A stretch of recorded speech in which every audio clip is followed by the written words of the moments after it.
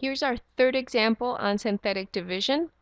Here we have a linear binomial, so we're going to use synthetic division. Remember, we set this up with an upside down division box. Inside this upside down division box, we write the coefficients of our dividend.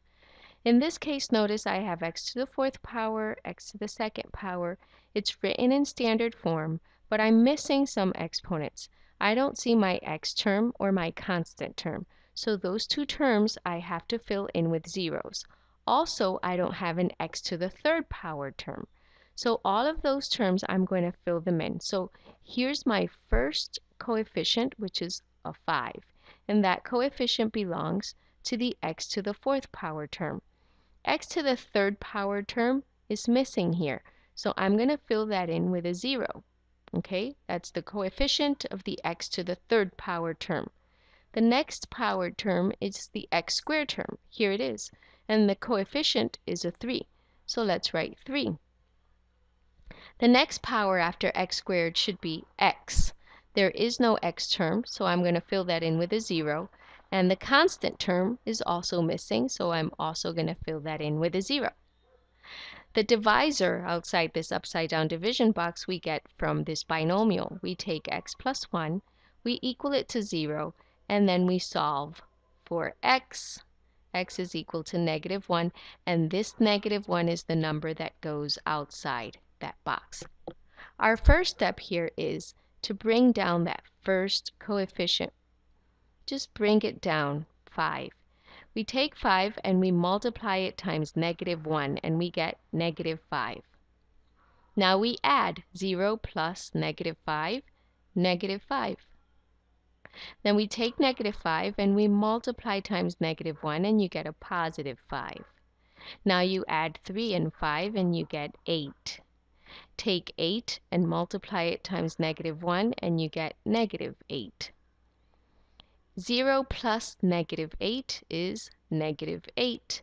Take negative 8 and multiply it times negative 1 and you get a positive 8 and now you add 0 plus 8 and you get 8. So many 8s, right?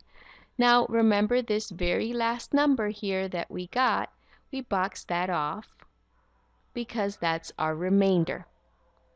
Also, the number right next to this remainder, that's your constant term. This one is your x term. This one here is your x squared term and the one next to it on our last one is our x cubed term. So notice how I go increasing powers of x's.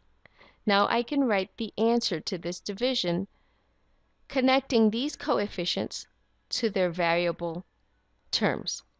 So this first one here becomes 5x to the third power.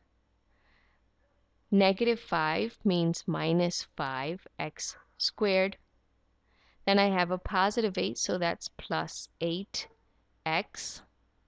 Then I have a negative 8, that means minus 8, and that's your constant term. Plus our remainder, which is 8 divided by our divisor, which is x plus 1. So this is your quotient and remainder. This is the answer to the division of these two polynomials. That's your answer. If you still don't understand, go back and watch again. Try them on your own and come back to, to see if you get the same answer as we did in the video. I'll see you in class.